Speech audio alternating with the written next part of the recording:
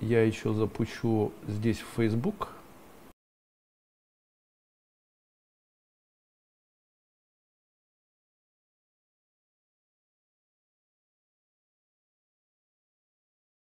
Здравствуйте, дамы и господа, гаммы и господа.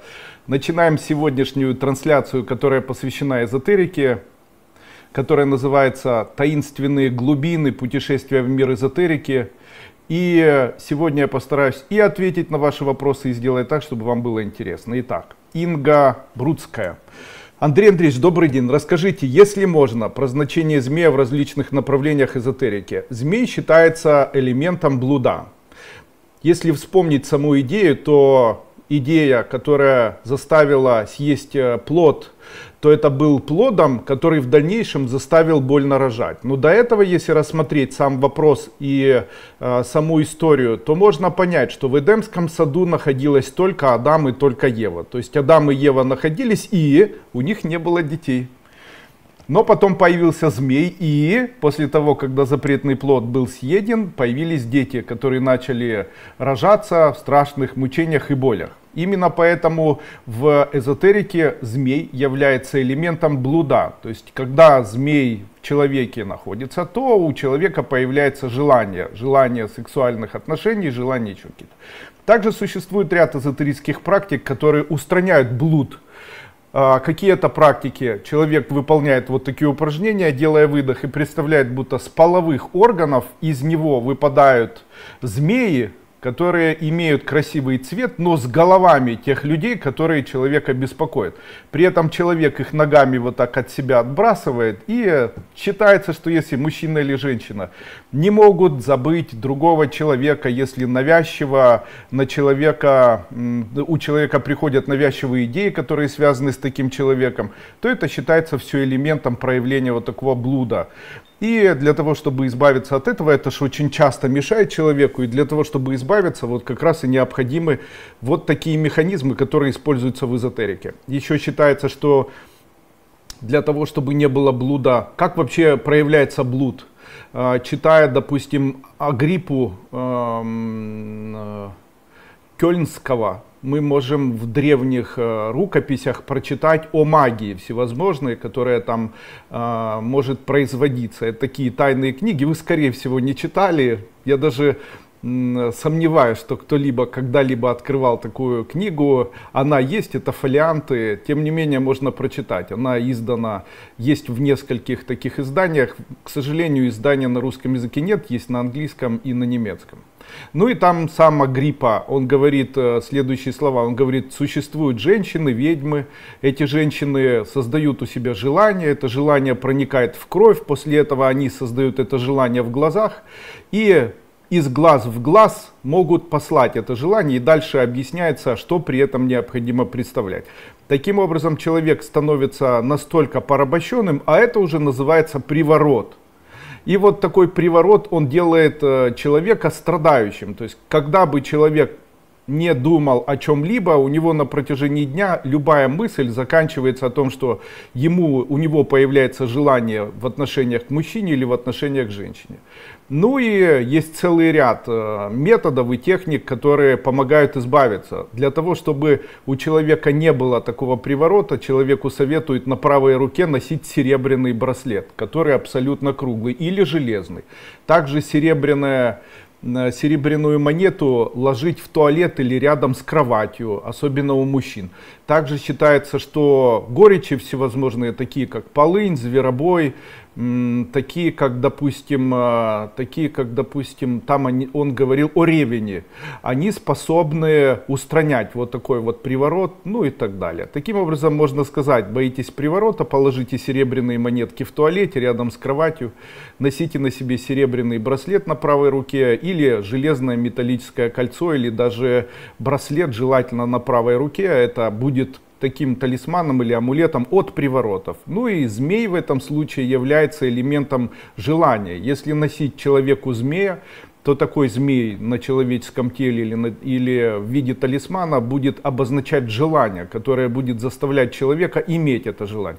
То есть, скорее всего, в случае, если вы будете носить змея, то к вам желание не проявится. А вот вы будете всех желать. Таким образом, носить такой талисман, считаю, не очень благоразумно. Вообще, змей является в направлениях эзотерики проявлением сексуального желания. Мир в доме у Юлии спрашивает. Кстати, забыл сказать, а давайте-ка сегодня поздравим за слово за слово признательность. На прошлой неделе мы проводили э, такую викторину или такой розыгрыш. Я хотел и дарю сегодня э, первую обновленную ступень эзотерической школе Кайлас победителю, человеку, который написал слово признательность под данным видео. Им является Алексей Босевской. Его канал называется Аристократ Босс. Он получает от меня в подарок первую ступень эзотерической школы Кайлас. Также хочу дать волшебное слово сегодняшнего, э, сегодняшнего нашего вебинара. И э, хочу объявить конкурс. И слово, которое мы будем писать, будет называться первая ступень школы Кайлас. Или будем писать э, первая ступень. Вот, напишите первая ступень и обязательно в следующем вебинаре я объявлю победителя или человека, который выиграл этот конкурс и подарю первую ступень 2023 года. Поэтому не забудьте в конце, после того, когда видео закончится, написать слово «первая ступень школы Кайлас» или просто «первая ступень». И я выберу на следующей неделе человека, который получит от меня первую ступень 2023 года. И тут такие слова. Что даст вам обучение в моей школе первой ступени? Итак, моя школа это место, где открываются двери в мир невидимого и невидимого, неведомого, и мистического. Вот. Здесь каждый ученик обретает уникальные навыки и знания, которые могут применяться на практике, причем мгновенно после первых дней обучения. Вот основные аспекты обучения. Понимание влияния миров.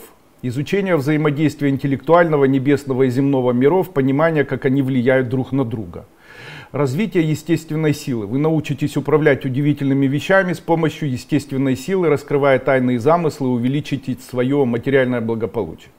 Победа над врагами. Обретете способности для победы над противниками, снижение влияния негативных факторов в вашей жизни.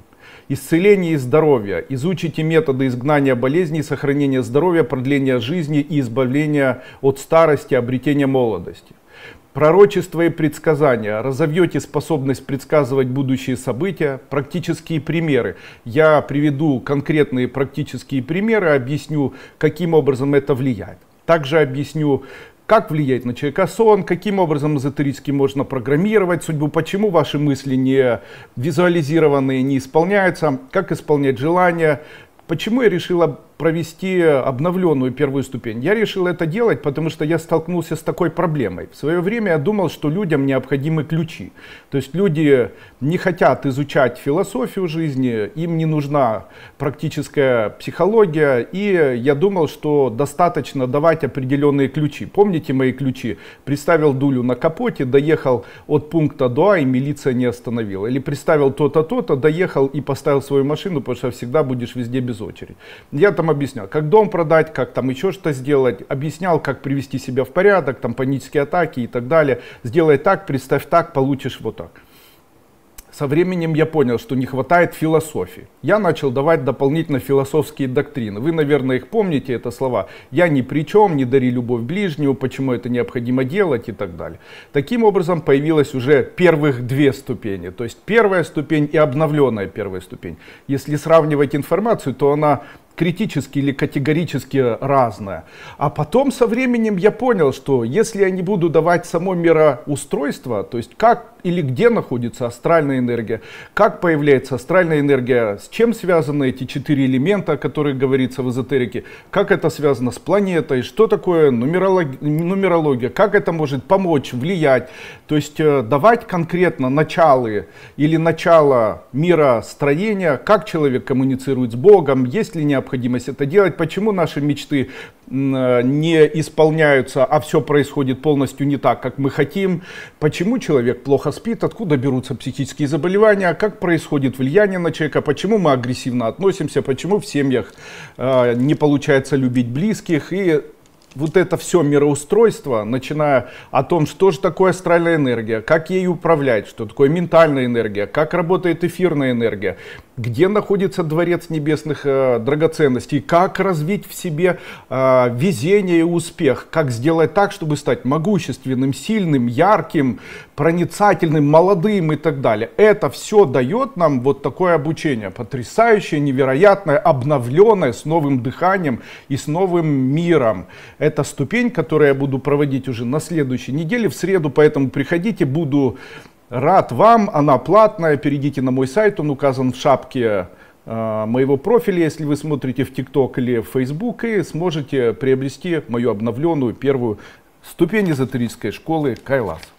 Ну и, конечно, если это вам не подходит, не переходите, не смотрите. Ну и гудбай, как говорится. Итак, Мир в дому Юлии. Здравствуйте, уважаемый Андрей Андреевич. Сыну Дмитрию 32 года, не женат, но очень хочет внуков. А, вам очень хочется внукам.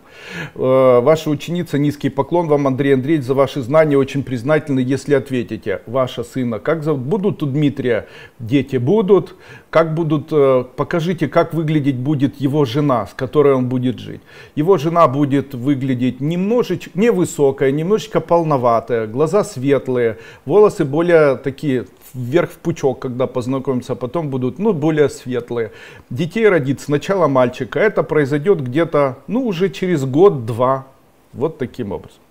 Кул Ватчер. Упадут ли скоро цены на недвижимость? Нет. Перееду ли я с братом в Швейцарию? Да но стоимость недвижимости быстро не упадут. Марина Герлинг.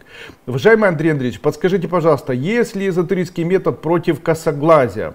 Да, такой эзотерический метод есть, но здесь сразу же такой вопрос. Кто будет это делать с ребенком? Там просто элементы такие, которые, в которые вложена и э, работа с э, чувствами к этому человеку. И это называется дисплеем. То есть берутся руки, ставятся у ребенка на, на уровень его висков. При этом представляется при этом представляется дисплей вместо на лбу у этого ребенка. При этом представляется между левой рукой и правой рукой, проходящая через его височную область, э, нить Этих нитей необходимо представлять 4, то есть в виде ромбика необходимо представлять. При этом необходимо представить два глаза, которые находятся на этом дисплее, которые косят в определенной плоскости, ощутить состояние доброты. И делая медленные движения вот таким образом, представлять, будто глаза становятся ровно. Делается так, или в одну сторону, или в другую. Делается так, как только ровно стали, ощутили доброту, руки убрали. Потом снова приложили, снова покрутили, руки убрали. В день так необходимо делать. За один подход 30, 40, 50 раз. Подходов таких необходимо делать, ну, два хотя бы. Можно ли дистанционно? Можно. Но для этого необходимо, первое, абсолютное желание по отношению к тому, что вы будете это делать. Второе, то есть ребенок должен согласиться, именно он, а не мама. Дальше, второе, э, у вас должно быть теплое отношение к этому ребенку, ощущение, будто вы его обожаете. И у этого ребенка должно быть теплое ощущение к вам, и это ощущение должно быть то, таким, как будто вы его любите и очень хорошо как будто он вас любит очень хорошо, тепло, нежно, с любовью к вам относится. Таким образом, если это все будет присутствовать, то дистанционно можно и еще одно но. Если там можно положить и прикрутить по 30-40 раз, то дистанционно нужно делать не менее ну, от 10-15 минут. Тоже можно делать. Желательно это делать в то время, когда ребенок бодрствует, а еще не спит. Светлана Новикова. Здравствуйте, Андрей Андреевич. Скажите, а еще есть у Агриппы. Нет, не у Агриппы, а кто же там писал-то?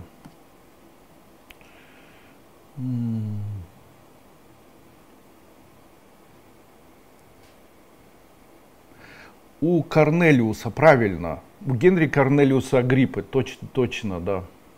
У него есть э, некое такое, некий совет, который он дает там в своей книге. Я, правда, не помню World Wisdom, как-то так вроде бы. Возвышая, возвышенная оккультная философия. И у него есть э, некая такая, некий совет такой, он говорит, если у человека есть проблемы с ногами, человек должен утром на ночь искупаться, ночью поспать, а утром, как только он проснулся, он должен поставить ноги в таз и водой, которая ночевала рядом с ним, в таком красивом белом, желательно, кувшине, непрозрачном, а глиняном, на котором должно быть написано «Это мой Бог» на иврите. Ну, можно просто йод, чтобы было написано «Рука Бога». Этот человек должен начать делать вот что.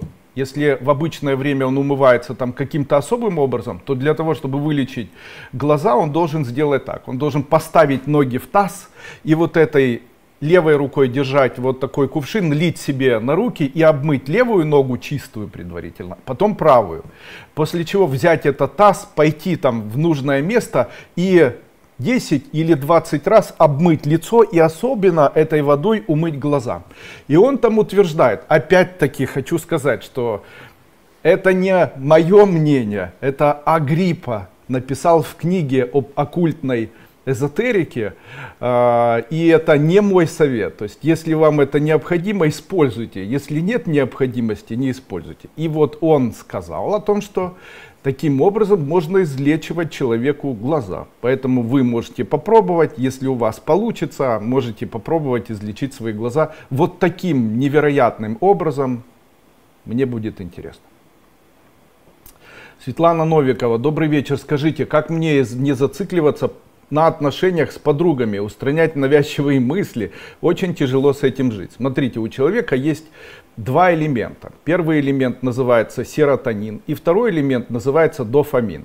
Когда у человека высокий когда у человека низкий дофамин, то у него появляется депрессия, у него появляется тревожность.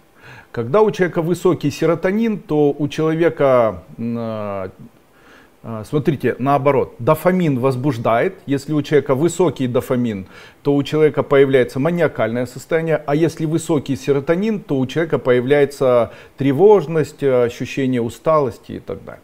Так вот, считается, что в случае, если у человека навязчивые идеи, то это говорит о том, что у него высокий серотонин. Что необходимо делать? Его необходимо снижать. Каким образом?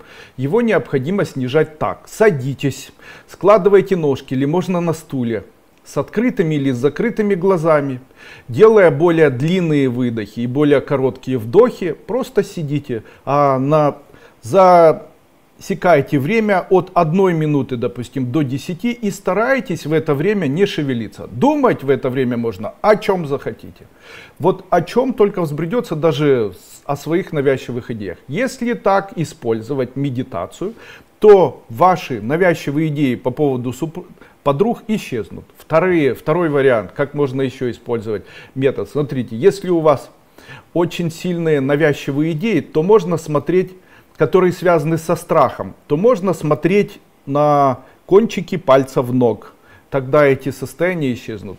Третий вариант. Если вам очень плохо и у вас навязчивые идеи, смотрите, сложите руки перед собой и смотрите 45 градусов от кончиков пальцев вверх. При этом можно представлять красивый золотой дворец в небе. Это тоже помогает. Добрый вечер, уважаемый Андрей Андреевич и все участники вебинара. Хотела уточнить, как лучше практиковать денежный СНГ, можно ли через день чередовать разные. Можно в один день делать разные. Что может произойти? Если человек использует мои денежные СНГЯ или какие-либо другие СНГЯ, он должен знать то, что расходуется. Как правило, мы расходуем больше всего состояние чувств. И ощущение, которое у вас может происходить после выполнения эзотерических практик, это ощущение, как будто вы истощены. То есть нет чувств, нет радости никакой и так далее. А каким образом в дальнейшем необходимо увеличивать радость? Помните мои слова о психической энергии? Я говорил, психическая энергия возникает тогда, когда человек удивляется, радуется, восхищается, когда он обнимается, трогает кого-то, когда он слушает музыку, не эмоционируя. То есть он внешнюю эмоцию берет, чужую, эмоцию от музыки, но сам как бы, да, нравится.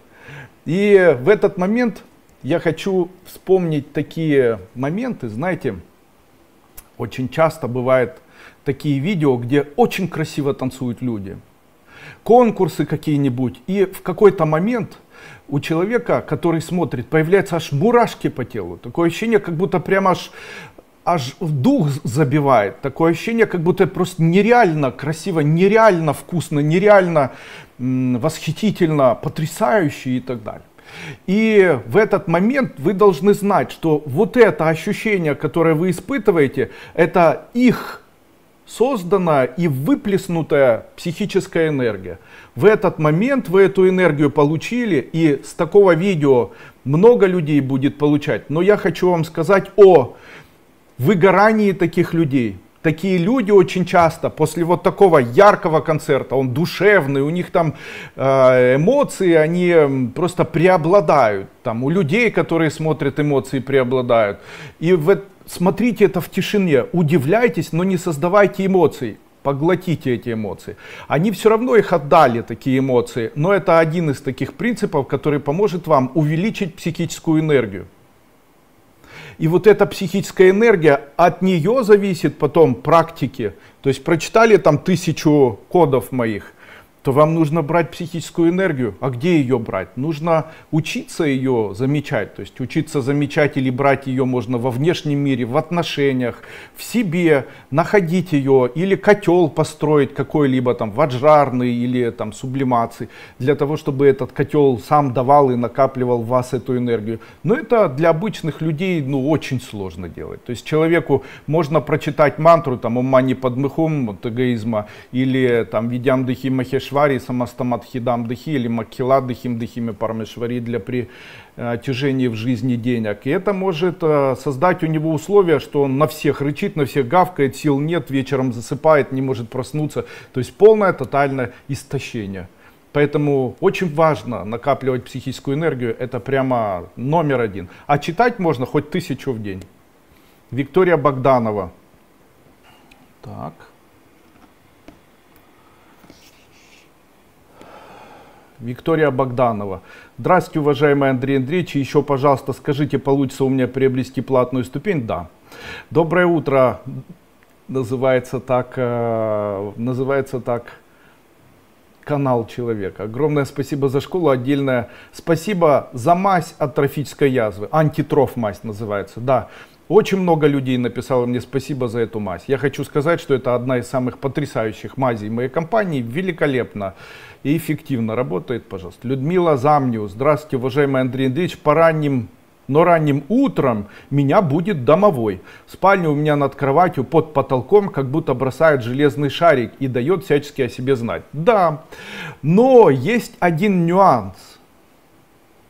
Домовой любит кошку. Я говорю это серьезно. Если у человека есть домовой, и он беспокоит, то нужно завести кошку. Кот, он обычно дружит с домовым и в дальнейшем с ним играется и так далее. Такой домовой перестает беспокоить, если выбрать кота. Какого кота необходимо? Смотрите, если много домовых, то с пятнами, а если один, то тогда черненького или беленького, но черненький лучше. Ни в коем случае нельзя выбирать кота, у которого голубые глаза. Считается, что кот, у которого голубые глаза, делает человека надменным. Особенно делает это ночью. А также может у человека создавать э, э, эмоции, которые зашкаливают э, в сторону желаний каких-нибудь. Поэтому домовой вот таким образом убирается. Признательно спасибо за ответ. Пожалуйста, надеюсь, он вам купите котика. А если котик есть, тогда необходимо положить для домового тарелочку с молочком. Положить ее необходимо в большом количестве и говорить домовой это для тебя тарелочка с молочком. Или кусочек еще жареного сала. Вот. Тука называется. Дело в том, почему тука? Дело в том, что в определенных эзотерических э, источниках написано, что жареный тук или жареное сало, оно не должно принадлежать человеку. Оно должно принадлежать Богу.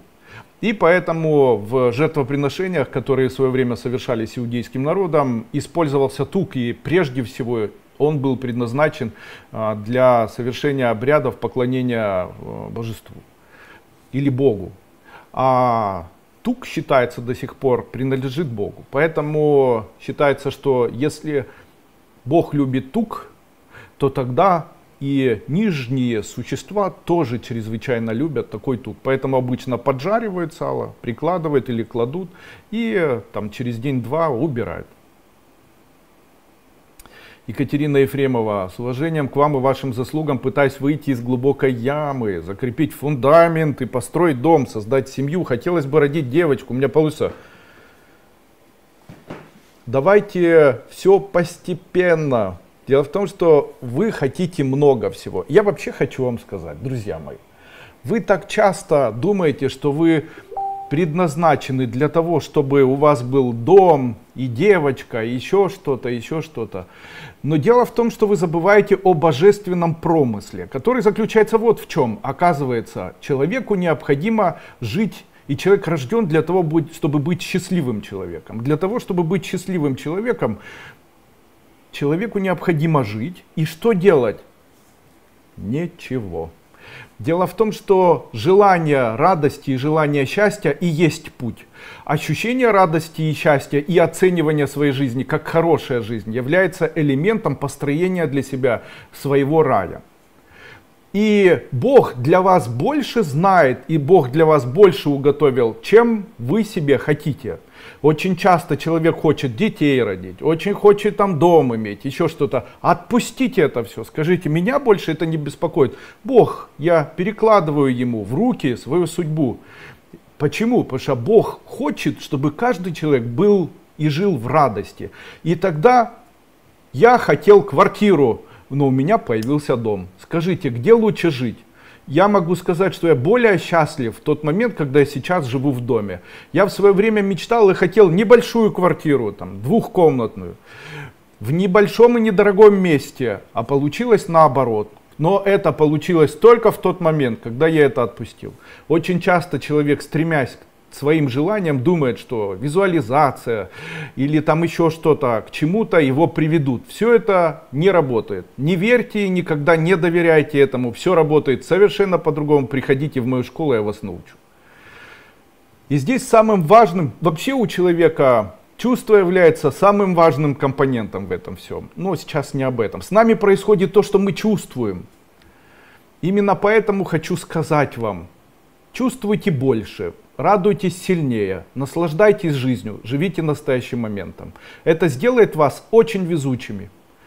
И тогда жизнь будет такой, которая принесет вам на 100% абсолютное счастье. И вы хотите, допустим, там квартиру появится, дом, хотите дом, возможно, для вас будет жить бесконечно там на лайнере до конца своих дней, проживая там в роскоши и так далее. Ну, не знаю. Дайте возможность Богу для вас создать самое лучшее. А то человек очень мешает своими мыслями Богу, потому что он вечно думает, что самое лучшее это Жигули. А на самом деле у Бога заложено, что самое лучшее для вас будет Porsche Cayenne. Но вы так хотите Жигули, что вам Porsche Cayenne не дают. Ладно. Тетяна Шацьких, добрий день, студентка 4 курсу денної форми навчання, також працюю по спеціальності. Чи скоро я буду мати свою квартиру та машину? Років за 5 чи навіть 6 чи 7. Чи буде моє життя успішним? Так, коли я вийду заміж? Ну, через декілька років.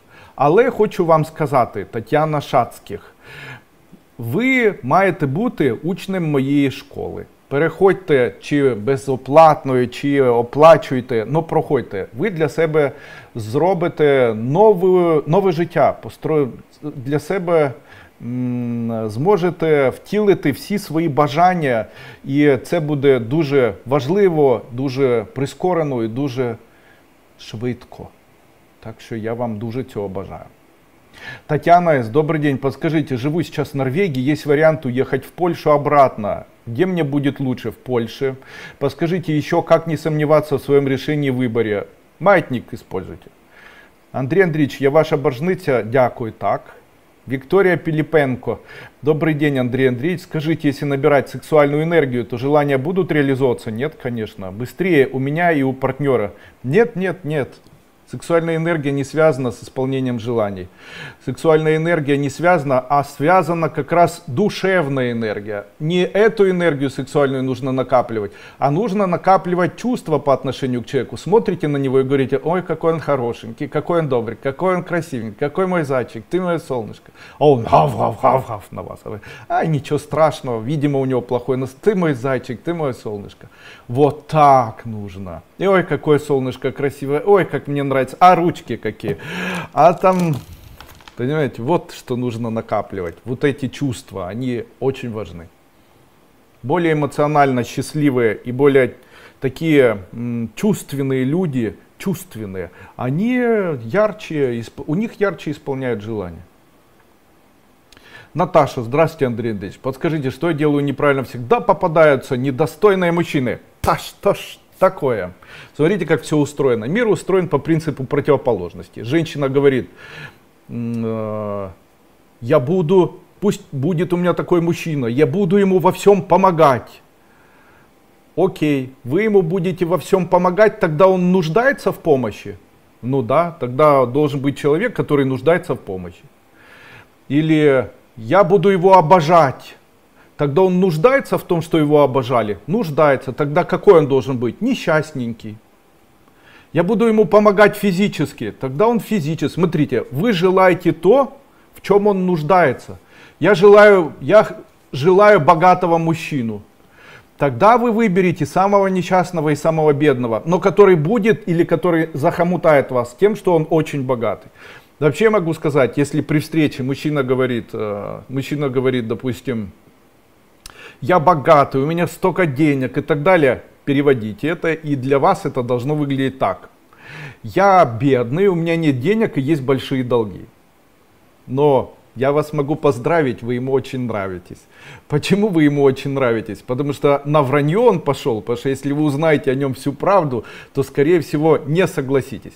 А знаете, у женщины это устроено так женщина, когда вступает в интимную близость, то в случае, если ей понравилось, то она все готова простить. Почему? Ну, она понимает, что она нравится мужчине, что она готова ему посвятить жизнь, что он хороший и так далее. Потом он говорит, ну, нет у меня этого, но, да что ты мне врал? Ну, извини, ну, ладно, зато у меня свой мужчина, зато вот он вот так вот. Знаете, главное до постели довести. Почему женщины не любят, когда им врут? Женщины не любят, когда им врут, потому что Врать должен кто-то один, а женщине это легче удается, чем мужчине, потому что мужчина напрягается, когда врет, поэтому все видно. А женщине нет возможности напрягаться, она может это с легкостью. Почему? Ну, у женщины так мозг устроен, она не может быть сконцентрированной, она то об одном думает, то о другом думает, то вот так думает, чувственно думает о красоте. У женщин больше мыслей, чем у мужчин. У мужчин так, сделать, сделать, сделать, сделать, сделать, а у женщин сделать, не сделать, сделать, не сделать. Это утром, а вечером там тра-та-та-та-та, тысячу мыслей на все, на все абсолютно возможные тысяча идей, тысяча мыслей, тысяча разговоров, кашка-малашка. Но получится ли встретить хорошего мужчину? Конечно, вы красивая женщина, у вас будет высокий, такой немного лысоватый, светловолосый или седой, но не старый, высокий, нравится он будет, будет даже с автомобилем, или даже такой с более в рыжую сторону, с темными глазами, будет ездить даже на автомобиле, таком джипе, все нормально. Вообще, как говорят в Одессе. А смотрите, Наташа, вот я вам сейчас предсказал судьбу. А чем вы со мной рассчитаетесь? Вы должны знать, друзья мои, предсказывая судьбу других людей, я делаю людей... Ой, что это у меня тут появилось? Предсказывая судьбу других людей, я могу сделать вас должниками. А оно вам надо? Я же заберу что-то. Валя Синюк.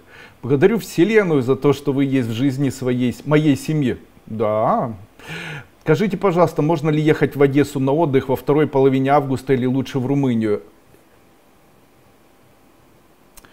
А, те сейчас, э, то, та сейчас. Дело в том, что вы сейчас, находясь в Одессе, используя море Одессы и даже используя воду Николаевской области, Одесской области, подвергаете себя возможности кишечной инфекции. Такие кишечные инфекции, которые сейчас находятся, они, скорее всего, в момент того, когда вы купаетесь в море, загораете, пьете водичку и так далее, они не проявятся. Дело в том, что развитие стафилококка, лямблиоза, стрептококков, они, э, энтеротоксинов, они могут быть очень, э, развиваться в очень длинном периоде, от 3 до 9 месяцев но потом могут очень существенно повлиять на жизнь человека. Каким образом? Ревматоидные заболевания. И это, скорее всего, будет а, следующим, а, самым большим кредо, который произойдет вот а, в этом году зимой. Я даже могу наверняка сказать, а, прям наверняка, что количество людей, которые начнут лечить васкулит, ревматоидный полиартрит, арт, артрит, э, ревматоидные аутоиммунные заболевания всевозможные, особенно ревматоидного характера, они будут в таком огромном, ювенильный артрит там детский или там взрослый, они будут в таком огромном количестве, и я думаю, это уже прям в форме такой это будет э, стихийного бедствия. То есть у людей, которые находятся и которые э, там отдыхают на Черном море турецкого побережья, Грузии, которые отдыхают э, сейчас в Одессе и так далее, это все может быть. Ну, конечно, не у всех тотально. Но многие же сейчас загорают, не принимают витамин С, иммунные, допустим, э, иммунные препараты не принимают. Там э, многие на диете, кто-то там переохлаждается, у кого-то там в этот момент энтеротоксины, энтеро Э, э, бактерии, они инфицируют в этот момент, человек является носителем этого всего, и в дальнейшем это развивается, у кого-то иммунитет справится, у кого-то и нет. Но если очень жарко, то еще более-менее ну, если очень жарко, то опасно. А если холодно и вода холодная, то организм будет чуть-чуть больше э, стимулировать, наверное, лейкоцитов в теле и, и там цитокинов, иммуноглобулинов может быть лучше. Поэтому, если сейчас вы выбираете на жаре купаться в теплой воде, то нет. Купайтесь, когда холодно, в холодной, тогда вам будет лучше. Поэтому я не рекомендую. Вообще сейчас Черное море небезопасно. Тоже, как хотите. Это мое мнение, вот персональное.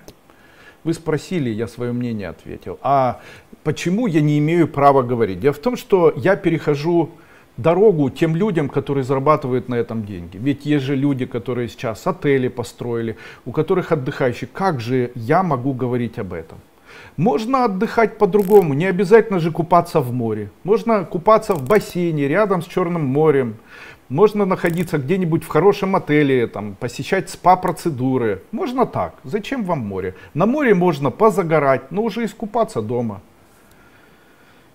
прийти вечером в красивый ресторан, находящийся на берегу моря, с какой-нибудь э, кухней, там, э, греческой кухней, или там рыба, чтобы была, опять-таки рыба, да. Эх. Ладно. Венера. Здравствуйте, Андрей Андреевич. Читаю мантры. Хотела бы спросить, можно ли вылечить фиброзно-кистозную мастопатию? Венера, Казахстан. Можно вылечить фиброзно-кистозную мастопатию. Сегодня эзотерический семинар, ну а фиброзно-кистозной мастопатии я рассказал на прошлом вебинаре, который проходил во вторник. По-моему, это было 31 числа. А, это было первого, да. Сегодня у нас пятница. Третье это четверг, второе это среда, и первое это вторник. 1 августа 2023 года я провел вебинар. Его можно найти на моем канале Андрей Дуйков YouTube. И там я как раз говорил о том, что, по моему мнению, приводит к появлению миомы, а также фиброзно кистозной мастопатии. Если вам не сложно, вот там сделайте. Uh, тот же Агриппа сказал, что можно от гриппа, да? Тот же Агриппа сказал, что можно человеку избавляться от э, вот такой кистозной или от узлов в теле, вот так он говорил, можно избавляться следующим образом. Брать, э, ну это я как бы добавил от себя, спичку, зажигать эту спичку, и когда она погаснет, к узелку дотрагиваться вот этой горелой спичкой и бросать воду. После этого эту воду выливать. Ну и у меня есть люди, которые говорят, да, действительно, Андрей Андреевич, помогло, узел там был с э, куриное яйцо, еще какое-то, и попроходило. Надо же, это что, так работает эзотерика? Да, но не все так просто. Виктория, вы уникальный, добрый человек. Ай, спасибо. Ваши знания бесценны. Ай, спасибо. А эмоции во время вебинара вдохновляют. Подскажите, как эзотерически избавиться от угроз соседа-алкоголика? Смотрите, как все устроено. Говорите каждое утро такие слова. Ты хочешь моей боли. И хочешь боли, которую я испытываю эмоциональной. Хорошо, мой дорогой сосед, фамилия, имя, отчество. Я отдаю тебе свои неприятности, свою боль и свои всякие там состояния, которые связаны с моим здоровьем. Можешь это забирать. А взамен я хочу твою молодость, радость, молодость, радость и богатство твоих детей – и делайте так, после этого сидите и делайте так, громко смейтесь. А-ха-ха-ха-ха. А-ха-ха-ха. Можно даже четки взять. Идет так. А-ха-ха-ха. И потом делайте так. Так тебе и надо. А-ха-ха-ха. Так тебе и надо. Ми. Да, так работает. Ох, так его долбанет но только предварительно поставьте мою ритуальную защиту, о которой я обучаю на первой ступени. Или делайте это через призму своего духовного имени. Делайте там Айм Хридайна Махам Климшрас и дальше по тексту, вот как я рассказываю обычно это в школе. Если не умеете, проходите ступень. Анна Мария, скажите, пожалуйста, почему не получается найти достойную работу? Что не так? Смотрите, достойная работа для достойного человека – у меня была девочка. Смотрите, я владельцем в свое время был очень крупной сети. Потом эту сеть плавно распродавал, закрывал, потому что начал болеть онкологией.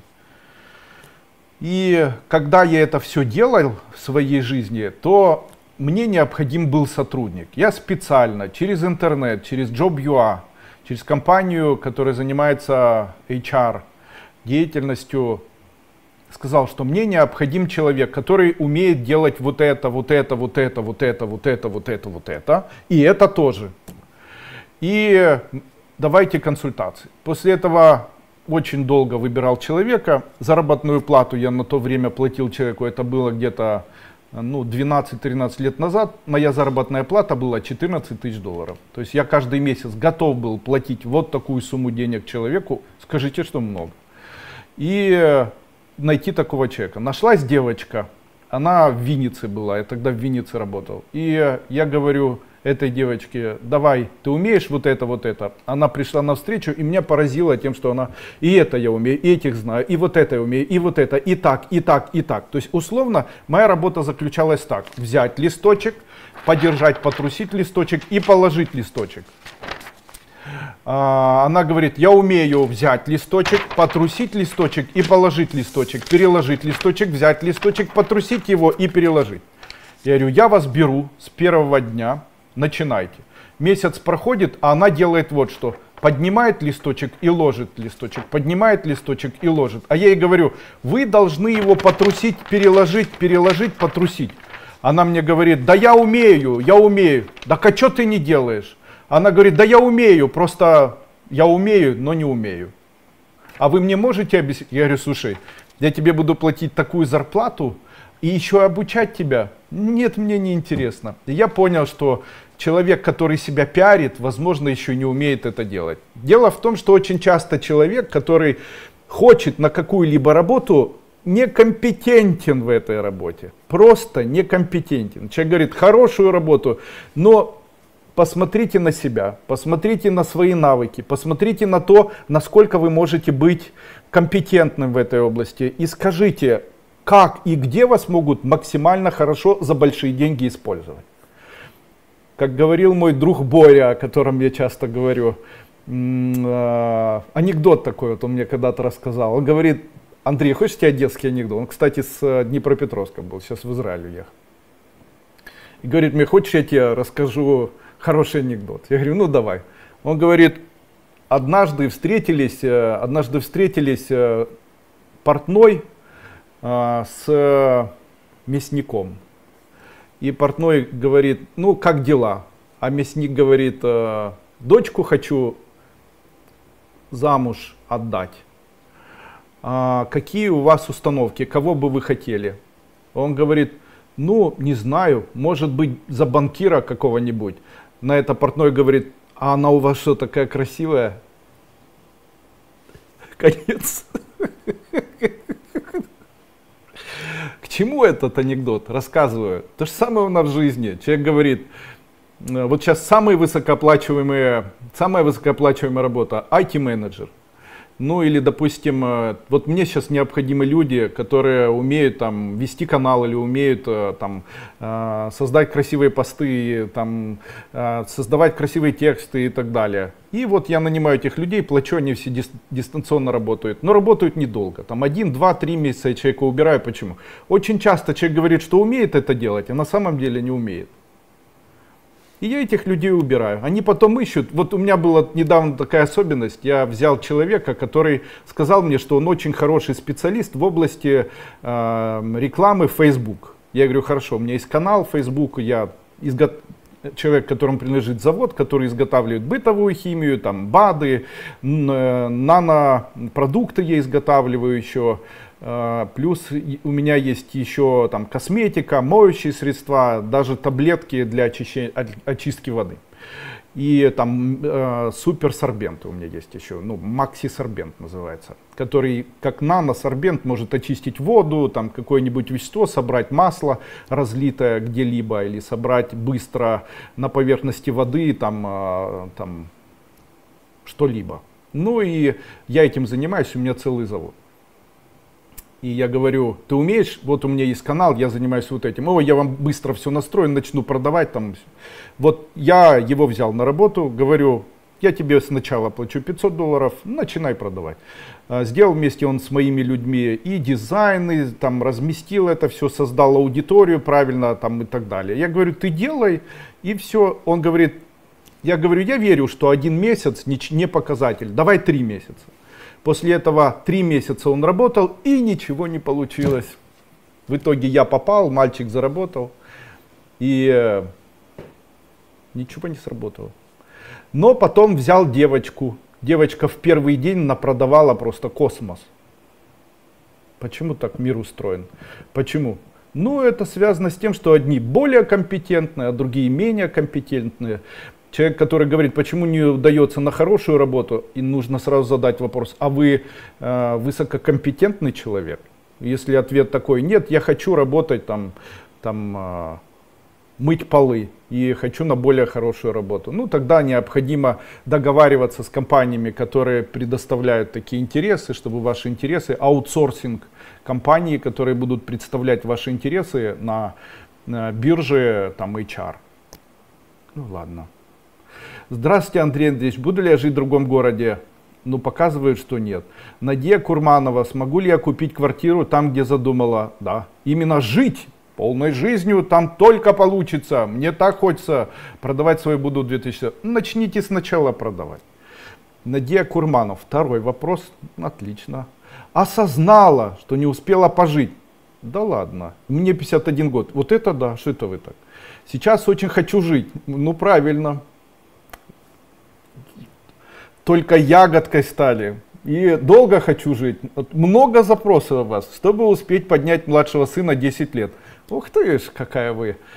Конечно, будете долго жить. Все в ваших руках. Три элемента нашей абсолютно красивой, долгой и счастливой жизни. Первое.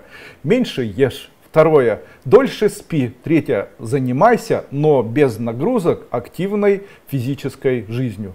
Четвертое что там еще четвертое придумать? Активное дыхание. Пятое, медитация и йога. Шестое, употребление биологически активных веществ с высоким содержанием э, э, бивофлавоноидов. Или же по-другому окислителей. И третье, принимая антидот, который поможет быстро эти окислители или свободные радикальные соединения удалять. А это еще что такое? Если есть аскорбиновая кислота или витамины, не забывайте принимать препараты с аминокислотой цистин, цистерин, цистеин. Скажите, пожалуйста, внучки 3,5 годика плохо разговаривают. Что делать и с чем это связано? Это связано обычно с появлением в крови большого количества аммиака. Попробуйте почитать или создайте такую информацию и почитайте. Оказывается, э, детская ну нельзя называть слабоумие, а неразвитость или недоразвитость, она может формироваться на фоне высоких кетонов, высокой молочной кислоты, которые на, и даже аммиака, который накапливается в крови человека. Это дисфункции печени. Каким образом лечится это все? Лечится, э, лечится L-орнитином, такой есть такая аминокислота. Купите и давайте ребенку L-орнитин. А также можно еще давать Э, есть, э, эм, есть вещество такое. Посмотрите, что убирает аммиак в крови. И второе, обычно у ребенка должна быть, у ребенка вообще мысли человека, они работают по двум принципам. Через активацию нуклеуса кумбенс или ядро прозрачной перегородки, которое является отделом гипоталамуса и гипофиза. А, и он отвечает за 4, за 5 элементов. За циркадные ритмы человека, за а, дофамин, за серотонин и за концентрацию и расконцентрацию.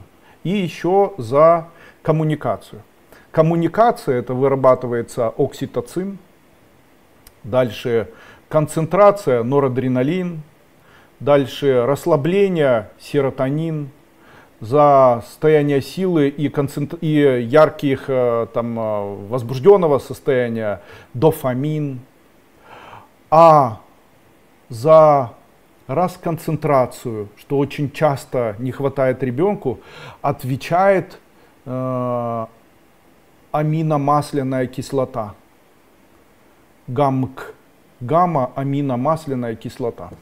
И вот эта гамма-аминомасляная кислота является очень важным э, очень важной системой регуляции мозга. В 1964 году двумя учеными Гарри Рубином и Маслоу было изучено количество э, веществ, которые находятся в мозге. И они конкретно выделили вещества дофамин, серотонин, норадреналин, которые находятся в ликворе и в большом количестве. И получилось так. Адреналин, там, норадреналин, это гормоны надпочечников, их было там до 1%. Дофамина было около 2%. Дальше серотонина было от, ну, до 3, а к вечеру увеличивалось до 5% а все остальное занимала гамма-аминомасляная кислота, аминокислота. И они говорят, зачем человеку 85% гамма-аминомасляной кислоты в, орган... в ликваре мозга. Это какой-то ужас. Зачем она нужна? Она наоборот приводит к расконцентрации человека. Почему так много? И со временем поняли, что она необходима, потому что у человека в момент того, когда он концентрируется, то процесс концентрации занимает небольшое количество времени, и он очень энергетически такой эффективный. И нужно создавать процесс росконцентрации. Как работает гамма-аминомасляная кислота? Если ребенок ночью просыпается, если не может, э, если вскакивает, если у человека, если человек, допустим, вот ребенок, он думает о спорте, о спорте, об игре, об игре, об игре, а ему нужно переключаться.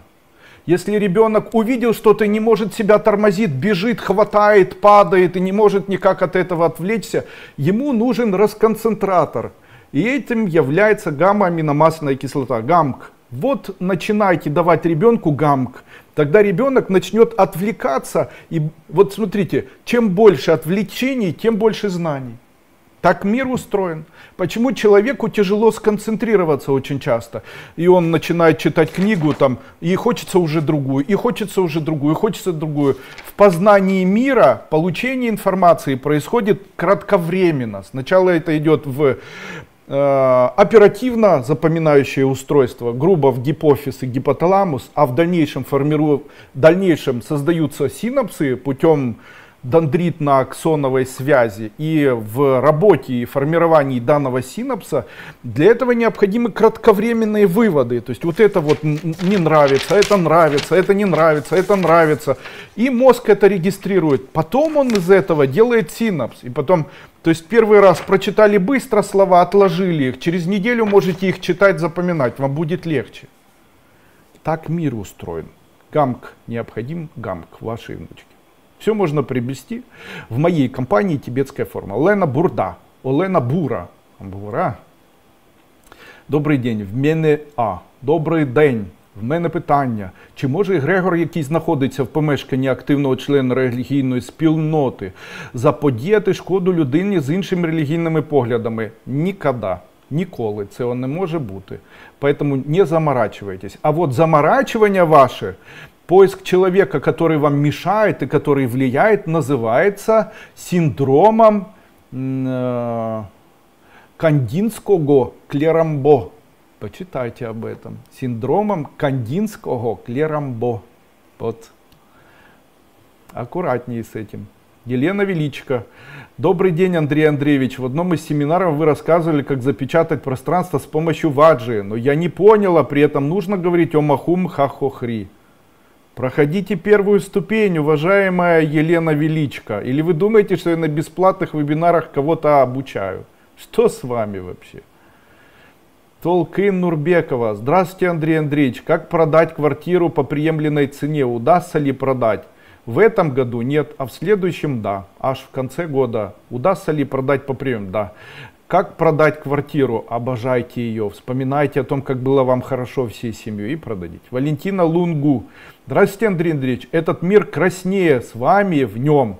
Да ладно. Я же жену люблю. Она мне очень нравится. Ну ладно, раз вам нравится, пусть. И вашей семье удачи во всем передам. Соня, ты меня сейчас смотришь, я тебе передаю привет. Приглашаю тебя сегодня на вечерний проминанс. А, скажите, пожалуйста, когда я нахожу работу, то что-то случается и остаюсь без. Начну ли я зарабатывать? Начнете, все в порядке. Начнете.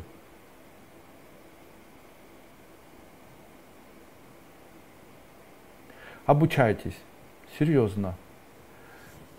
Почему человек ничего не хочет? Человек ничего не хочет и ничего не желает в тот момент, когда... Вот смотрите, я не видел шоколадку, и мне ничего не хочется. Мне говорят там, а хочешь сникерс? Не хочу. Почему? Я его никогда не видел. А баунти? И баунти не хочу. Почему? Да его никогда не видел. А конфетки хочешь? Нет, не хочу. Почему? Я его никогда не видел. Это знаете, когда люди приезжают, допустим, в Африку, у меня такое было, я когда-то ездил в Уганду и там собирался делать бизнес. И когда я приехал в Уганду, это было 24, 20, уже 26 лет, 25 где-то лет назад, ну 24, скажем так. Я приехал в Уганду и с собой привез э, продукты питания. И вот э, продукты питания, там рыбная консерва сайра у меня была, конфеты баунти, сникерс, там вот целый ящик я такой и жвачки. И вот мы там были, я нанимал людей, которые должны были работать, и э, общаясь с местным населением, решил предложить взрослым людям попробовать баунти. Они попробовали баунти, откусили, и им так себе понравилось. Но сникерс, вот а он откусил сникерс, выплюнул и потом еще долго пил воду. Ему не понравилось. Почему? Он уже был созревший, и его пищевые рецепторы были полностью адаптированы к той еде, которую он знал и хотел. Он никогда в жизни не захочет больше есть сникерс, он ему не интересен. Также, допустим, если вы в Черногорию приедете, начнете борщом кормить людей, они вас не поймут, потому что они любят полбу там, а если вы приедете в Италию и начнете их там кормить чем-то украинским, там, голубцами, еще чем-то, ну, возможно, если у человека не концептуален, знаете, а если там человек, батюшка или там мулла или еще кто-то, он не будет есть, он для вас ест кусочек, накормите жителя Германии, которому 50 лет, нашим сушеным нашей таран, нашей таранью какой-нибудь. Возьмите тарань, там леща какого-нибудь сушеного, красивого, почистите и дайте ему под пивко. Но он в жизни есть не станет. Он будет говорить, это гнилая рыба, чем ты меня собираешься кормить? А если дать ребенку, то будет, и потом будет хотеть. К чему я это все говорю? Обучение наше чему-либо помогает нам в дальнейшем этого хотеть. А когда у нас появляется желание этого хотеть, мы к этому стремимся.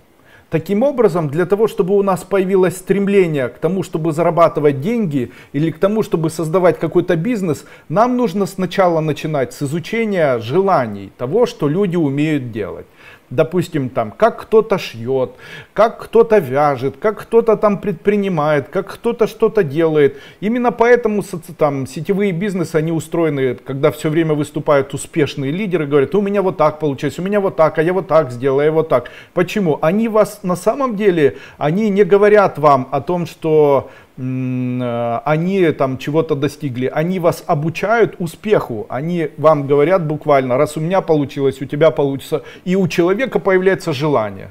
То есть это и называется мотивация, ну и фактически это называется коучингом.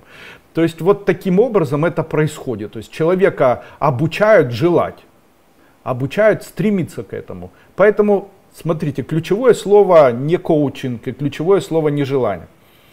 Ключевое слово обучаться. Поэтому обучайтесь, тогда у вас появится желание. А если появится желание, то появится все остальное. Так человек, который обеспечен всем, у него нет желания, он ничего не хочет.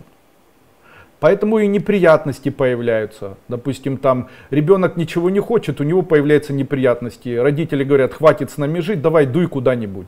После этого он начинает где-то жить, ему необходимо зарабатывать, он начинает шевелиться, узнавать, кто за счет чего там зарабатывает, начинает. Или там родители вредные, ребенок хочет от них уйти, у него целеустремленность там что-то делать. А, у меня был, э, была встреча когда-то, знакомая женщина, и она говорит, я в селе росла, родители меня обижали, они сельским хозяйством занимались, я у свиней там убирала, коров доила, и там э, вечно жила, мама мне заставляла весной сажать картошку, летом убирать, там сапать, и это было с одного года э, пока я себя помню, и вот до того момента, и я всю жизнь старалась, я закончила школу на отлично. Почему? Потому что ей хотелось вырваться, а они были ее мотиваторами. Потому что мне хотелось вырваться из нищеты, уехать куда-нибудь, поэтому и родители были вредными. Мне там женщина написала, Андрей Андреевич, а скажите, вот у меня э, проблема жизненная такая существенная. Я живу в семье, но когда вижу отца, я прямо ненавижу. Смотрите, мир так устроен, это большое количество событий, но это выглядит так. Вам грубо жизнь дает мяч. И этот мяч, он вам принадлежит. То есть какое-либо событие условно можно обозначить мячом. Вам этот мяч бросает жизнь, вы этот мяч хватаете. И у вас есть два варианта. Забрать себе этот мяч и отпустить сзади, чтобы он дальше катился от вас.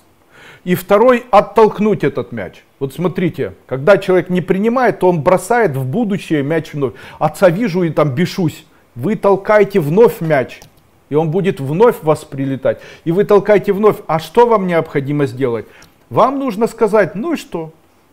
То есть, да, было, но это будет, вы сначала, ну и что, оттолкнете одну десятую мяча назад, потому что вы еще не принимаете, а чуть-чуть больше вперед. А потом через время пол мяча вперед, а потом через время теннисный мячик, а потом теннисный шарик, а потом маленькую бусину, а потом маленькое перышко, а потом одну молекулу, и на этом все завершится. Это процесс длительный, но он единственно возможный. Не отталкивайте то, что вам не нравится, научитесь перелетать. Говорите, ну и что? Тю, это волшебные слова. Так, ну что, будем сейчас заканчивать. Никаких плазий, миомы и так далее. Все во время, во вторник вебинар, там все об этом сказано тысячу раз. Последний вебинар был связан и с дисплазией, и с миомом, и гиперплазией. Я объяснял, каким препаратом лечить, рассказывал схемы и так далее. Перейдите, я же говорю, во вторник провел вебинар, это было 1 августа 2023 года на моем канале. Когда закончится, перейдите и посмотрите. Посмотрите. Оксана Добрянська, скажіть, будь ласка, що зі мною не так, пройшла СНГ 78, обряд ваджарне серце і поки що ніяких. Який обряд ваджарне сердце? Такого обряда не было. Проходите первую ступень школы Кайлас. Какая сангая? Сангая для тех, кто уже в теме. Миром управляет философия и психология, а техники это дополнительное уже подключение и все остальное. Проходите мою первую ступень школы Кайлас. Я говорю это серьезно. не занимайтесь вот таким вырыванием. Вся эзотерика начинается с того, что ее принципиально изучают, медленно это делает и так далее. Вот смотрите, какие будут темы. Бог – энергия мироустройства. Бог – это закон, весь мир подчиняется. Законы энтропии, зачем Бог создал мир. Концепция слов радости. И дальше, кто такие, что такое мировая боль. А, как Бог обучает сейчас людей, как раньше обучал, как работает все в эзотерике, кто побеждает в войнах, что такое индивидуальный рай. Э, что такое революция жизни, как выйти из ямы, что такое концепция добровольного выбора, что такое намерение человека, что такое эмпаты, антипаты, э, что такое добродетель, э, каким образом строится энергетические уровни, как человек коммуницирует с Богом, что такое пять элементов, как работают эзотерики с водой, с землей, как человек устроен по принципу энергии Бога, чем этим, что это делает, что это дает, что такое огонь для человека. Вот читаю. Желание это мысли, мысли воздух, воздух это намерение. Мысли без огня падают перед человеком, загрязняя его ауру. Ауру загрязняет больше всего клятвы, договора, обещания человека. Это самое плохое, чем человек должен стараться никогда не использовать. Почему человек рано умирает? Дальше я объясняю. Материя Земли, вот смотрите, астрал, ментал, эфир. Наши программы могут быть возвышенными и животными, низкочастотными, могут накапливаться в нижней части ауры и там верхней. Вот читаю дальше. Астрал. Чем сильнее человек создает над своей головой энергию ментала или свечение ментала, тем сильнее он создает темноту астрала днем и свечение ночью. Дальше. Почему миры перевернуты под нами и над нами? Строение астрала, тайны наших миров, правила трех миров, как подключиться к эфиру, что такое астрал? А, как контролировать сон, что такое увеличение ментала, что такое ментальные сети, а, что такое медитации настроя, как построить свои сети, как э, избавиться от сети, что такое 8 планет влияния, что такое три пентакля благословения э, планет, что такое цифровой код вашей жизни и семьи, а, как его построить? И там что с ним можно сделать, построение специфурека, из чего состоит человеческое эго, как можно им управлять, как, из чего состоит эго семьи, как можно можно управлять отношениями, что такое энергетические центры, ну и так далее и тому подобное. Это 10 дней, огромное количество, глобальное количество информации, которое нигде невозможно прочитать. Так, как преподает Дуйко, никто не, преподает. Не преподает. Самое адекватная, потрясающая эзотерика. А для тех людей, которые постоянно говорят, ой, это Дуйко, вы мне завидуете. Пфф.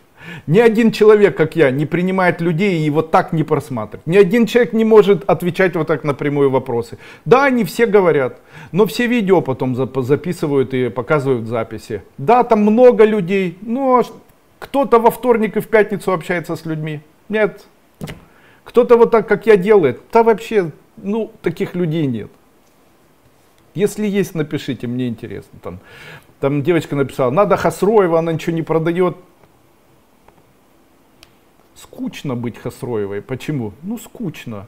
Знаете, статуэтки, ведьмочки, вся вот эта чернушность, знаете, она же старинная. Все, все, можно, все может быть по-другому. Зачем все так, там, а, поклонение этому, а там, знаете, вопросов сразу много. Поклонение этому, почему?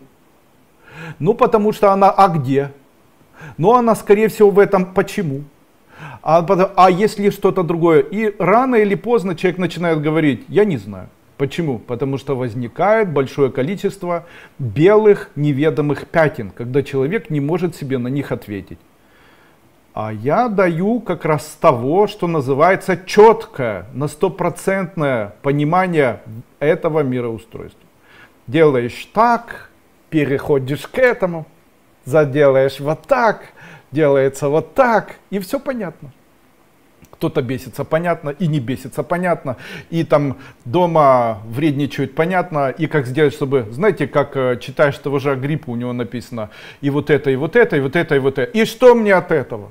Как у Губанова в свое время было, и вот это, и вот это, а вот это крутится так, и так, и вот все. Ну отлично, я это знаю, как это использовать. Ну тогда, если ты... Часы состоят вот из чего. Шестерня вот так, шестерня вот так, они крутятся. А семинар называется «Как как сделать часы. Но самого главного вопроса, как сделать часы, так и не дан был. То есть, а я даю так, часы сделаны так, вот такая шестерня. Почему она такая? Потому что если была бы такая, то было бы так, а она не такая. И почему это вот так стоит? Потому что если было бы не так, то тогда То есть, когда если было бы не так, это называется философия. А когда сделай так, это уже эзотерика. Валерия Мур, красивая, как Деми. Стоит ли ехать в Дубай? Смогу там заработать? Нет, ни в коем случае не едьте. У вас не идет там хорошая жизнь. Очень разочаруетесь будете. Флора Лешок. Андрей Андреевич, будет ли у меня хороший результат после прохождения семинара подключения к индийским богам? Ехать в Індію, в храм Ганеши нет возможности. Конечно, у всех будет. Велика подяка вам за цікаві виступи, запитання у зв'язку з обставинами. Мої діти виїхали за кордон. Чи колись воз'єднаємось ми всі разом, чи я буду жити поряд з ними? Воз'єднаєтесь і будете поряд з ними і жити, і доживати. Все буде добре і гарно для вас самим найліпшим чином. Таня Бобко, доброго вечора, Андрій Андрій. Чи будуть у мене гармонійні відносини з чоловіком в коли? Що мені треба для хорошої здачі екзамену парамедика? Вивчати парамедицину, щоб здати гарно свій іспит. Правильно, екзамен це іспит. І будуть гармонійні відносини. Отак садітесь кожен вечір і кажіть. Ты моє сонечко, ты мой зайчик, я тебе так кохаю, гладьте его. Как можно больше тактильности, как можно больше тактильности. Женщине тактильность нужна, но вы должны знать, что мужчин приручают как собак. Гладите собаку, она не гавкает. Вот смотрите, когда ваш мужчина гавкает, что ему необходимо? Его необходимо накормить, погладить и переспать. Конец. Я говорю вам серьезно, любого мужчины нужно гладить. Чем больше вы гладите, обнимаете, тем ближе к вам мужчина. Тулитесь к нему, як говорят в Украине, тулитеся до него, прижимайтесь по-русски к нему и обнимайте его. Это все создает процесс максимального доверия. Мужчина после этого, отягощенный таким состоянием, начинает понимать, что он несет за вас ответственность и так далее. Очень часто между мужчинами исчезает как раз вот эта тактильность. Мужчина сам не будет трогать. Там, у мужчины там только во время желания он может потрогать там или там. А так по жизни они не трогают. Их надо этому обучать. А для того, чтобы обучать, надо самим делать. Вы как вы видели, как собачки обучают щенков заниматься интимными отношениями. И это делают не мальчики, это делают девочки. Обычно девочки обучают мальчиков заниматься интимными отношениями у животных. А животные уже мальчики, они потом знают, кто научил? Мама. Да, или тетя, там кто-то научил. А у людей, ну у людей не обучают, мы слишком умные, но рефлекс остался. И вы должны обучать вашего мужчину, там, гладить его за ручку, за ручку его брать, там, на плечо ручку ложить, обнимать сзади. Вот это все должно присутствовать. Говорить ему слова, ты у меня такой хороший, умница. Женщины забыли, что это такое. Забыли. Вы думаете, если а мужчин этого их не воспитывал никто, в них этого нет, они не умеют, их надо обучать. Они могут только, ой, какой красивый и дорогой, ой, мои глаза не видели такой хрсты, как ты, ой, там еще что-то. Ну, это закадрить, они так не считают, возможно. А обучать красоте может женщина. И там, правда я хорошая? Да. Правда я солнышко? Да. Ну, а тебе нравится? Да. А ты чувствуешь ко мне? Чувствую. Все, вы его обучаете. А вы начинаете, о, тут целлюлит, теперь он его видит. Зачем вы говорили, что у вас целлюлит? Я толстый. С чем вы ему говорите это? Вы же его обучаете. Вы ему говорите толстов, до этого он не видел, что толстый, а теперь видит. Ну зачем вы это говорили? Наоборот, скажите, надо же, раньше толстая была, сейчас нет. Он говорит, что такая толстая? Да, я согласна, я толстая, но я уже худею. Видишь, я же уже худею. Да? Он, да, точно. Даже не худеете, а, а, а в его глазах будет. Говорите ему, смотри, об худую можно разбиться. А на мне так, на мягенькой, тепленькой, смотри, горячая, смотри. Мой друг говорил, что все худые вонючие. Ужас какой. Ужас какой. Ну что-то в этом есть. Мурат Султанов. Добрый день. Покупал вашу книгу 100 медитаций. Как практиковать? Можно ли 3-4 медитации подряд? Да. Спасибо за ответ. Хорошей вам жизни, хорошей. Спасибо. Я свой собственный рай строю. Я его строю с малого. Нравится это, нравится это. Пытаюсь быть э, более чувственным по отношению к жене. Выработал в себе это, знаете. Не ругаюсь, не критикую, не злюсь. Знаете, что такое любовь в семье? Любовь в семье это все равно все будут раздражаться. Все равно кто-то там будет гавкать. Но любовь это когда ты не сделал плохое. Потому что говорит любовь это не любовь. А вот не сделать, не накричать, если хочется, не заткнуть, если хочется, не воспитать, если хочется, не критиковать, если хочется, не наругать, если хочется, это и есть любовь. Ведь любовь, она же и в этом и проявляется. Так на улице любому можно и нахамить, и в морду дать. А дома этого не позволяешь сделать. Почему? Любишь. Конец. Это и называется любовь. Так любовь больше том, чтобы не делать, чем делать. Доброго вечора, Андрій Андрійович. Здра... Добрий вечір, Світлана Стрюкова. А Светлана на украинском через букву И пишется. Поэтому, если на украинском, надо и писать свое имя на украинском. Доброго вечора, Андрій Андрійович. Доброго вечора. Онуку назначили в інституті зору чистку ока. Чи буде все гаразд? Так, це не дуже Е, така складна операція, втручання. Це гарно, це не дуже страшно. Це дуже швидко, проходить дуже е, безболісно. Ніна Тарасенко. Здравствуйте, Андрей Андреевич. Подскажите, пожалуйста, как поднять внутренние, в частности, женские органы с помощью, может быть, какого-то дыхания? Нет, с помощью дыхания нет. Надо ставить банку в область поджелудочной железы, а вторую банку, ну, такую огнен, ну, как их называют, вакуумную, да, а вторую нужно ставить в область э, мочевого пузыря. И делать это ежедневно, и делается, делается крест-накрест. Одна ставится, одна ставится под пупком, другая ставится возле поджелудочной железы, третья после этого ставится с правой стороны в область аппендикса, где-то вот в эту область, и третья в область э, левого, что там у нас находится, ну, э, слепая кишка, возле слепой кишки. Петрівна, доброго дня, учитель, великий привіт вам, Західної України. Вітання мої. Нещодавно придбала для себе шум виконання бажань. Скажіть, чи вдасться мені втілити те, що я хочу в реальність? Так? Так, Петрівна, все у вас е, буде, як ви захотіли. Так, слухайте, це має дуже велику силу.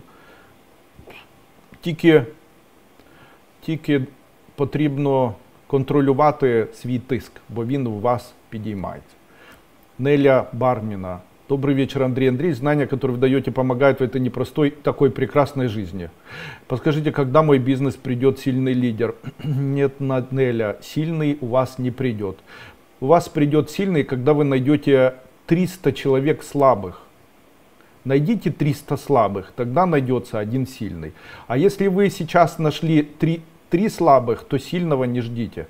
Люди, которые начинают заниматься сетевым бизнесом, они думают, что они найдут сильного лидера, и тот построит для них так, что они не будут работать. Так вот, я как человек, который в своей жизни занимался сетевым бизнесом, утверждаю, что на одну тысячу слабых партнеров приходится один сильный лидер.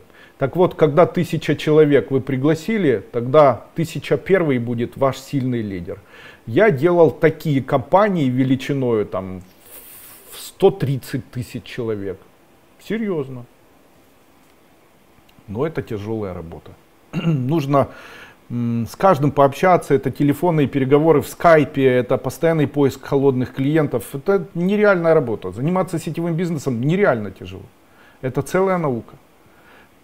В советское время все были непуганные, ничего не понимали, поэтому можно было тулить, что хочешь. Главное пообещать. А сейчас нет. Сейчас это мега сложный бизнес, потрясающе сложный бизнес. Еще с учетом того, что жизнь людей падает и так далее. Никто не хочет ни на кого работать, все хотят на себя зарабатывать миллионы и найти сильного лидера. Светлана Китаева. Здравствуйте, купила статуэтку Буду, зеленую тару, белую тару. Есть какая-нибудь мантра? Да, для статуэтки Будды мантра Ом Мани Падмехум или Амитофо. Для зеленой тары Ом Тары Тутары Турусоха. А для белой тары какая там мантра? А, Пунья а, сейчас, сейчас, сейчас. Можно Кирикилая, Сарва Бихнанте Кумпхат. Юлия Булаткина. Я дуже рада бути присутньою на вашому вебінарі рідко буває онлайн, різниця в часі. Скажіть, будь ласка, як скоро я вийду замуж, і чи буде мій чоловік канадійцем, канадцем? Так буде скоро, через рік, мабуть. Але вам не потрібно його шукати. Е, більше розслабтесь і живіть так, щоб ваше життя було таке смачним, гарним, більше масажа. Підготуйте себе для совмісного життя. Мария Лоюк. Андрей Андреевич, сын служит в ЗСУ, просит меня по доверенности оформить покупку квартиры отсрочно на 3 года. Нужно ли мне оформлять эту сделку, сможет погасить долг? Да, можете, правильно, он сможет все погасить. Галина Кожушко. Здравствуйте, Андрей Андреевич, научите. Что я делаю неправильно? Почему нет мужчины для комфорта? Переходите на мой сайт Дуйкогуру, берите мою, э, мой семинар, который называется «Быстрое замужество 2022 года», обучайтесь и выйдете замуж. Марьяна Анирам. Здравствуйте, Андрей Андреевич. Я постоянно за всеми повторяю. Это значит, что я потеряла себя. Нет, это значит о том, что у вас есть судороги. Когда у человека появляются судороги, которые обычно возникают на фоне либо высокого холестерина, либо недостаточного сна, то один из синдромов это повторение за другими людьми. Поэтому необходимо попринимать просто обычный магний. Попринимайте магний, повторять за людьми, перестанете. Сайрильсо. Здравствуйте, Андрей Андреевич. Что вы думаете о дольменах? Действительно ли это места силы, как говорят? Нет, я не считаю дольмены местами силы. Места силы, там, где человек во время пребывания ощущает слабость. Когда он ощущает слабость, он должен сесть или лечь. В тот момент в его теле может создаться процесс, в ходе которого что-то, что мешает ему жить счастливо, выйдет, и в это место наполнится обри... об... а... А... созданной силой. У меня так было. Я был в храме, э, в храме э, не Пандичери, а в храме, камбоджийском храме Ангхарват. И я поднимался вверх там в этом храме и почувствовал на одном из этажей жуткое состояние усталости меня прямо накрыло, я уже знаю, если есть жуткое состояние усталости, то рядом с тобой находится невероятная сила, мега сила. А, это стало моим а, прям таким желанием, силой это обрести. После этого я лег, и когда я лежал, мне скрутило живот. Очень сильно, прям вздуло живот на глазах, и было желание быстро куда-то убежать. В туалет, извините за подробности. Ну, вокруг этого храма, слава богу, огромное количество, эм, э, огромное количество э, джунглей. Поэтому я слез с этого храма и пошел в джунгли. После этого вернулся в этот храм, нашел это место, где меня скрутило, почувствовал ощущение усталости. И после этого такое было состояние наполнения живота, второй чакры, первой чакры радостью, каким-то возвышенным состоянием, таким ощущением, как будто нектар, мед и там все остальное. Такое ощущение после этого было. Я ехал в автобусе и все время смеялся. Мне такое было ощущение, как будто ну, нет даже каких-то идей, предпосылок к тому, чтобы к тому, чтобы где-то не радоваться чему-то. Было такое ощущение, как будто вот ей-богу в один момент из грязи в князи. Знаете, такое ощущение было прямо поднялось и настроение, и счастье. И вот на следующий день, ночью я не спал, потому что не хотелось спать вообще. Я купался в море после этого, Э, после этого э, там в ресторан поехал, еще там ночной ресторан был.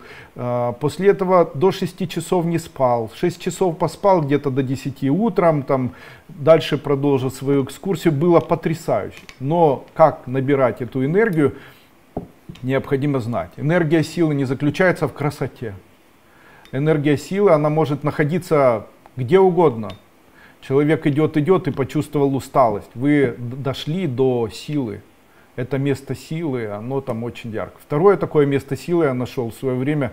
А, я ездил в Мексику и в Мексике проходил курс лечения и ездил в деревню. И в деревню. И там было такое место, где в лес такой, где растут вот эти ядовитые пальмы. Они колючие и прям с иголок капает млечный сок такой. И вот я там ходил, и у меня было такое же ощущение, будто я дошел до чего-то, что создало такое ощущение, будто я сейчас упаду, мне так плохо стало. И ноги закрутило, и руки закрутило, и шея заболела, и в глаза начала колоть и так далее. Так, как меня учили в свое время мои учителя, я сел в это место, после этого лег, дождался момента, когда мне стало плохо. Стало плохо, сильно покашлял очень, потому что было такое ощущение, как будто я что-то выкашляю. Но этого не произошло, такое ощущение, как будто вырвать хочется. После этого полежал немножко, и было такое же состояние. А после этого состояния было состояние упорности. То есть хотелось там э, идти, хоть появилась физическая сила. После этого набрался вес. Но это, видимо, было связано с э, местом силы, которое давало человеку мощную физическую силу. Мощную. Такие места силы находятся очень редко. Но тот человек, который эту силу принял, он этой силой обладает. И в том месте, где он эту силу получил, в том месте силы больше нет. Обычно вот так и выглядит это. А там в дольменах сила ну, не знаю. Світлана Шацьких, моя дочка навчається, працює, зустріла хлопці, це її доля. Нет. Саня Ибрагимова, нарост или сухие мозоли не читаю. Любовь Калашникова, здравствуйте, учить моя подруга почему-то оклеветала и перестала. Ранее сказал, нужно сказать ей, ты хочешь моей боли, а я принимаю тебя вот это. 10 лет общались, ближе родных. Хотелось бы услышать от вас ответ. Почему так? Никто вам на этот ответ не ответит. Почему, да из-за чего, знаете. Ну, это такое дело, знаете. Скажет, да, мне все равно. А клеветала и оклеветала. Позвоните и скажи, зачем ты это сделала, слушай. Я тебя так любила, что мне предала. Ну и дура. Что такое вообще? Так зачем вы молчите? Скажите, что ты трепишь на меня? Сколько можно? У меня был человек, я к не, человек, у меня была такая ситуация, два человека, у нас было три человека, которые владели магазином в городе Харькове. Это было очень давно. Одного звали Костя, другого Вадик, а я был третий Андрей. Uh, у меня магазин, который занимался продажей, uh, я занимался продажей шуб, с правой стороны занимался продажей серебра, а с левой стороны золота. И я начал, я уехал в Дубай, договорился об этих шубах, начал привозить китайские, потом нашел в Греции эти шубы, обучился вопросам, как их чинить, нашел ателье в Харькове, начал привозить только дорогие вещи, начал летать по два раза в неделю в Турцию обратно или там в Дубае обратно каждую неделю, сделал каталог своего магазина и там на, э, в одном из э, хороших таких районов рядом с горсоветом на улице Сумской открыл свой магазин с этими ребятами, потому что очень дорого была аренда. Ну и зима, очень много людей покупают шубы, а потом я летом придумал скидки. И у меня так произошло, что очень много людей начали их покупать. Прямо нравилось. И у меня такой молодой вкус был. Перешивал я, их перешивал на модные. И, в общем, деньги лились тьфу рекой. Это был один из моих таких первых бизнесов в жизни. Но мне приходилось очень много работать. То есть эти инвентаризации, девочки, куча денег, там курс растет, курс падает, вечные поездки, Каждые там 4 месяца я приезжал, менял паспорт, потому что там негде было штампы ставить. Мне все время там щемили в этих э, таможнях, потому что я там со всеми здоровался постоянно. Опять-таки доезжал до Киева, из Киева нужно было на машине в Харьков, из Харькова на машине в Киев, из Киева летал. И вот так вот сложно мне было, знаете. И так несколько лет. И вот они, видя успех, решили меня замочить. Э, взяли один отдел на голову и второй отдел на голову повязки. И один шел сзади, я в подъезде жил, вечер уже был, я приехал по дому, начал подниматься по ступенькам. Один спереди должен был ударить меня арматурой по голове, а другой должен был меня ударить сзади ножом. И я слышу, сзади кто-то идет и дышит, активно так. Я поворачиваюсь, тот, кто сзади шел, он ударил меня ножом, а я поднял ногу и в ногу этот нож попал. Ну и я этого человека ногой ударил, он слетел с этой лестницы вниз. А потом я повернулся и вижу, там второй бежит сверху, э, и я вот так отогнулся, и этот, тот, что сверху бежал, упал. Ну и тот, который с ножом убежал, а тот, который сверху упал и лежит. Ну и я его подошел, поднял, я не видел, что у него арматура, он без повязки. Это мой друг Игорь. А, Вадик, Игорь. Игорь, Вадик, уже не помню. Я говорю, о, слушай, что ко мне в гости пришел? У меня даже мысль такая не пришла. Я говорю, да, да, в гости. Он говорит, да, в гости. Я его домой привел, вызвал ему скорую помощь. Но скорая помощь из-за того, что это был центр, не могла доехать долго. Тогда в Харькове такое было. И он всунул ногу в батарею, четыре раза дернул, потому что у него фармобразование, он хотел себе ее вправить. Ну и сломал себе ногу. После этого его положили в больницу, а у них денег нет, оказалось. И э, его жена Марина говорит мне, а я крестным был, говорит мне, Андрей Андреевич, а займите денег, потому что у Игоря такой перелом, нужно сейчас деньги срочно. Я поехал, заплатил эти деньги и так далее, еще к нему приходил, еду ему привозил и так далее. Прошел год, у меня было день рождения, я их пригласил к себе. Нет, у меня там не было глубокого пореза, там был косметический порез, потому что штаны были джинсовые, там недалеко нож, но они не убийцы, знаете. Ну и этот Игорь признался мне, говорит, а знаешь, Андрей, мы же тебя хотели убить, но ты так поступил вообще, вот теперь ты знаешь, Вадик тебя хотел убить со мной, мы хотели завладеть этим магазином твоим и заработать деньги. Я говорю, ну вы и уроды. Ну, после этого с этим Игорем перестал я общаться. На то время я не мог просматривать так активно людей, как сейчас. Но я пришел к Константину этому. Я говорю, Костя, скажи мне, почему вы решили это сделать? Ты же подлец. Он говорит, да нет никаких проблем, это просто бизнес. Это просто бизнес.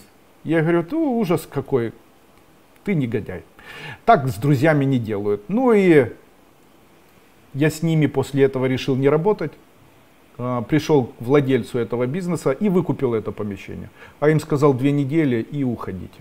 Ну, после этого тоже меня спустя, по-моему, полтора года там был э, Пилипчук, а потом, когда вместо Пилипчука пришел другой мэр города, то новый мэр города это помещение у меня отобрал. Все нормально. А я уехал в Киев. Вот такая история. Я вообще хочу сказать, не теряйте доброту. Обманула это как бы ее проблема. Ну скажите, если хочется. Я сказал. Мне когда-то на очень большую сумму кинул мой племянник. Я его привез в Киев из Крыма. Он здесь начал жить, помог ему здесь э, с жильем, помог ему еще с чем. А потом он просто, причем сумма была небольшая, ну в районе там 5-6 тысяч долларов. Вот так дал человеку деньги, говорю, довези там туда-то, туда-то, а он исчез. Исчез, и потом только через полтора года я говорю, я ищу его езжу по милициям, разные эти, обращаюсь разные эти, милицию, там, пишу заявление, пропал, ищу его, год. А потом э, маме его звоню, там, нету его и все. А потом, а потом приходит время, он мне пишет, со мной все в порядке. Я говорю, а что, с тобой произошло? Он пишет, э, ну вот со мной вот такое произошло, но можешь мне поверить, твои деньги мне радости в жизни не принесли. Причем тут деньги, зачем ты это сделал? Ну я не могу сказать, мне на то была потребность. Ну ты дурачок, просто ты дурачок. Вот так закончилось наше отношение. И я не, неплохо к нему отношусь, но его уже близко к себе никогда не подпущу. Все закончилось плохо, ему сейчас 42 года. Ему проломили голову в России, в одном из городов России арматурой. Сейчас он э, с латкой на голове и без детей, с четвертой стадии ожирения в Анапе ремонтирует телефоны. Вот и вся история. Печальная. Зачем? Не надо было кидать близких. Я вообще живу по принципу правды она выглядит следующим образом. Один из принципов богатого человека заключается в том, что он следит за тем, чтобы было много энергии, много чувств, великолепное отношение в семье и правдивость, а еще интеллект. Это важные аспекты хорошего человека. Мне не интересно ковыряться, кто, из-за чего, почему. Мне интересно. Если сволочь, то сволочь ты мне не интересен. Почему? Я тотально игнорирую зло. Я не тяну за собой, не наблюдаю за ним, не слежу за этим человеком. Ты мне не интересен, конец. Ты не интересен до конца моєї життя. Е, Надія, доброго вечора. Скажіть, будь ласка, про цей місяць, про старослов'янських богів, перун, сварок, які присутні цього місяця. Я хочу вам сказати, що Я хочу вам сказать, что то, о чем вы говорите, это New Age.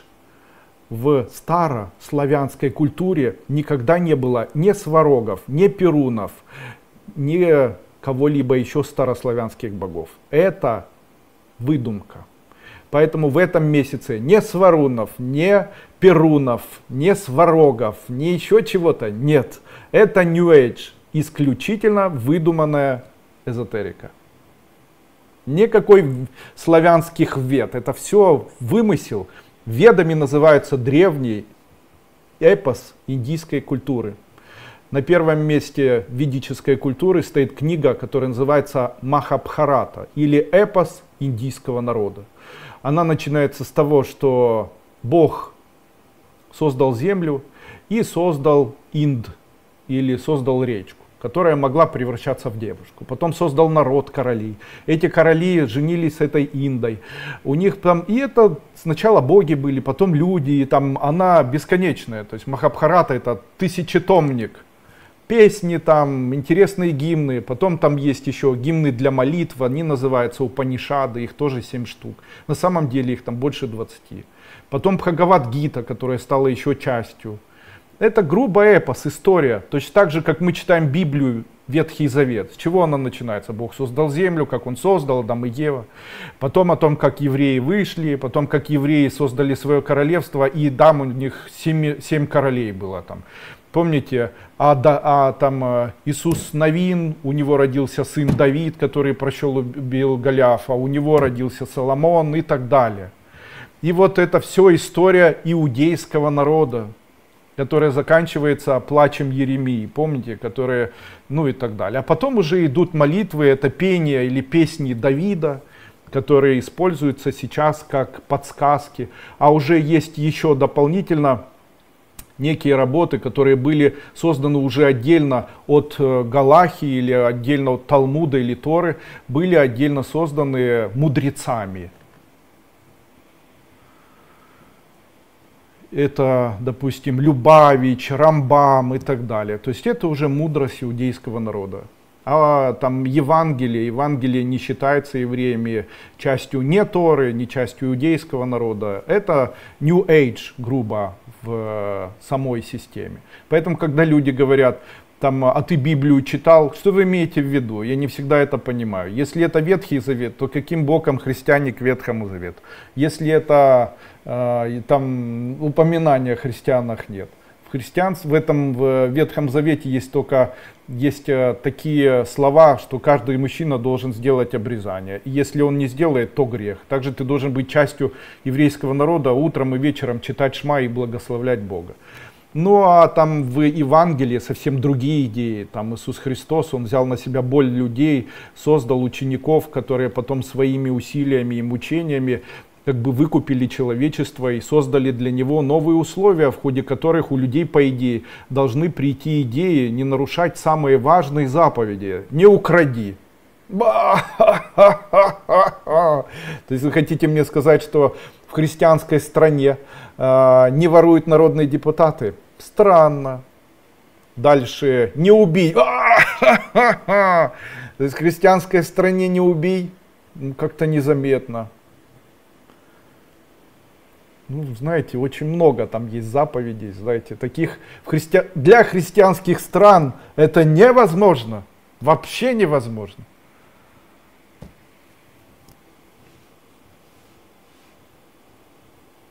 А вы о сварогах. Какие свароги? Ольга Пугаченко, здравствуйте, помогите. Как избавиться от одиночества? Мне 38, так вы маленькая еще, 38, красивая и так далее. Ну, конечно, вы что? Конечно.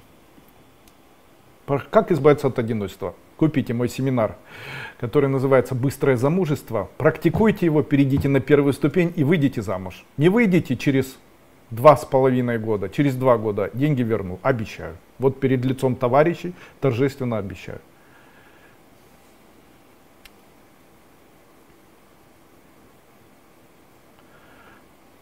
Ну и что? И будем завершать. Большое спасибо. Сегодня трансляция шла в ТикТоке. Здрасте, я всех вижу. Дальше она шла в Ютубе. Здрасте еще раз. И она шла в Facebook. Доказательства. Итак, Facebook пишет Зоя Терехова. Подскажите, пожалуйста, несколько лет собираю коробку с мелочью. Принесет ли она моей семье недвижимость? Или лучше обменять на золотое украшение? Если оденете золотое украшение, то еще быстрее принесет. Дальше. А здесь что у нас в ТикТоке пишут? Так.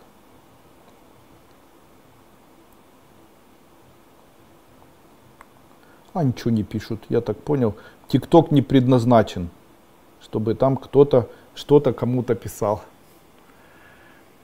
Ну, еще раз, спасибо. Получился великолепно интересный, по моему мнению, семинар.